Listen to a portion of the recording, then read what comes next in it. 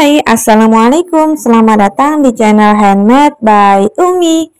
Oke, hari ini kita akan membuat tempat pensil dari sedotan plastik. Untuk cara membuatnya, silahkan simak di video ini ya teman-teman. Oke, langsung aja. Untuk langkah pertama, ini kita siapkan kardus bekas. Kemudian kita ukur ya teman-teman. Untuk lebarnya ini kurang lebih 15,5 cm.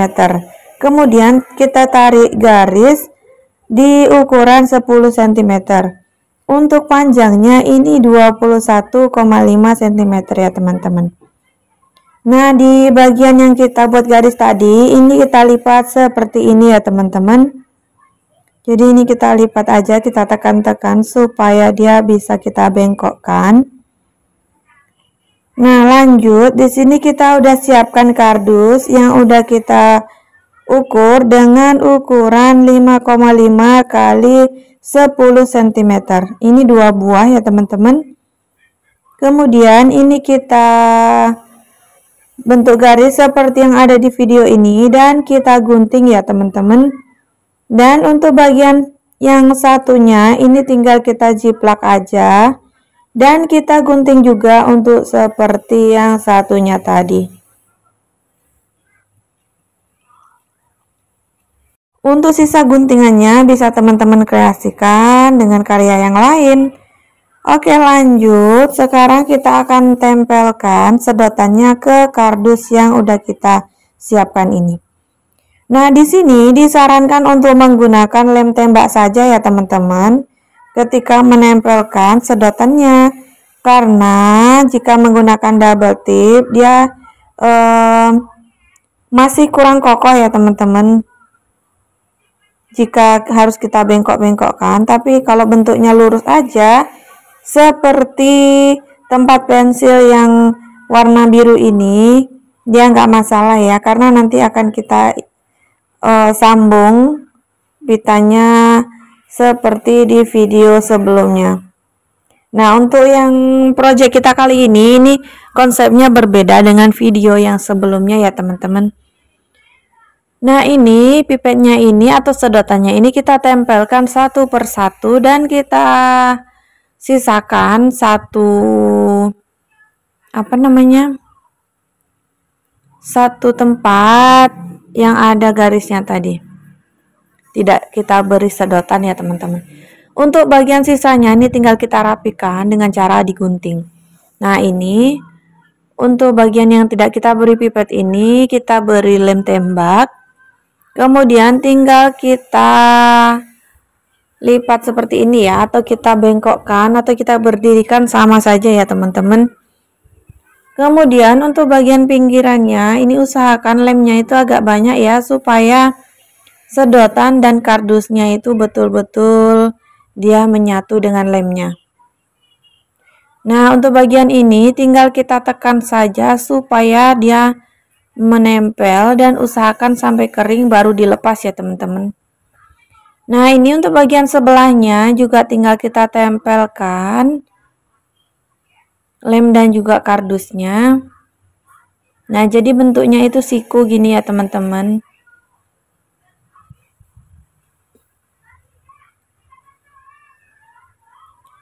Nah, seperti ini dia hasilnya.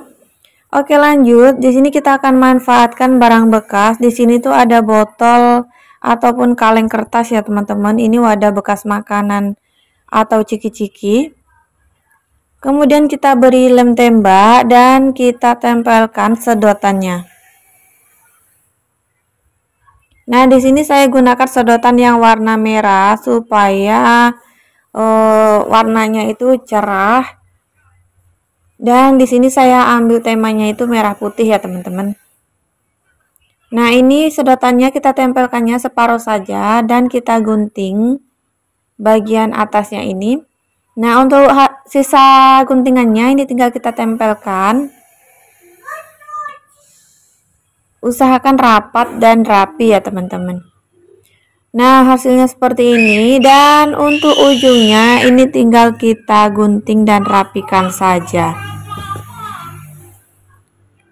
Oke lanjut. Untuk bagian bawahnya ini tinggal kita beri lem tembak dan kita tempelkan di sedotan yang udah kita susun tadi. Teman-teman bebas ya. Silakan teman-teman tempel di bagian tengah ataupun bagian pinggir sesuai kreasi teman-teman dan lanjut ini ada sisa guntingan sedotan yang pertama tadi ya. Ini di sini akan kita kreasikan dengan cara kita tumpuk-tumpuk saja ya supaya lebih mudah. Karena kalengnya ini kita tempel di tengah jadi di sini untuk uh, sekat yang lain kita buat di bagian kanan dan kirinya ya teman-teman jadi untuk sekatannya ini nanti bisa teman-teman gunakan juga untuk tempat pensil ataupun tempat bunga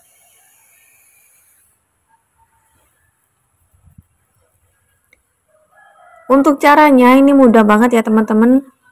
Silakan teman-teman beri lem untuk bagian ujung-ujungnya. Kemudian tinggal kita timpa selang-seling seperti ini ya teman-teman. Usahakan ketinggiannya itu juga sama ya antara kanan dan kirinya. Nah, jika dirasa kurang, silakan teman-teman uh, gunting lagi sedotannya ukurannya menyesuaikan yang udah kita buat tadi ya teman-teman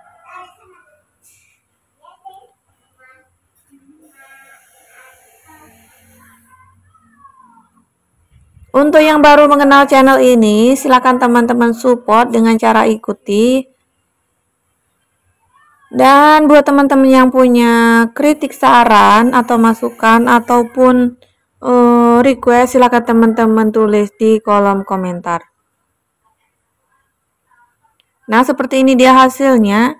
Supaya di bagian tengah itu tidak terlalu polos, di sini saya akan beri hiasan menggunakan sedotan yang warna putih.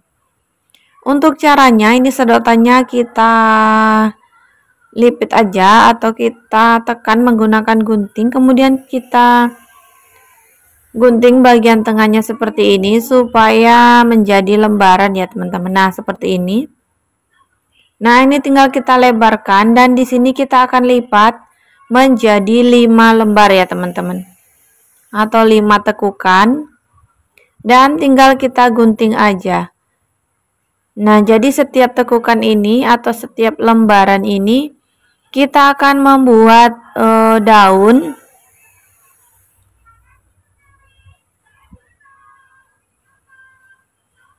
Kemudian ini tinggal kita bengkok-bengkokkan dan kita beri uh, motif supaya lebih uh, terlihat daunnya itu lebih jelas ya teman-teman. Dan kita tempelkan ke kaleng yang udah kita beri sedotan tadi. Untuk modelnya itu sesuai selera teman-teman ya. Di sini kita buatnya seperti ini aja. Buat teman-teman yang ingin mencari inspirasi yang lain, silakan teman-teman lihat di channel ini. Ada banyak sekali berbagai kerajinan tangan dari barang-barang bekas. Oke, seperti ini dia hasilnya. Sekarang kita akan coba, kita akan beri pensil dan juga bunga. Oke, makasih buat teman-teman yang udah menyaksikan video ini dari awal hingga akhir. Semoga videonya bermanfaat. Jangan lupa praktek di rumah. Silahkan share video ini.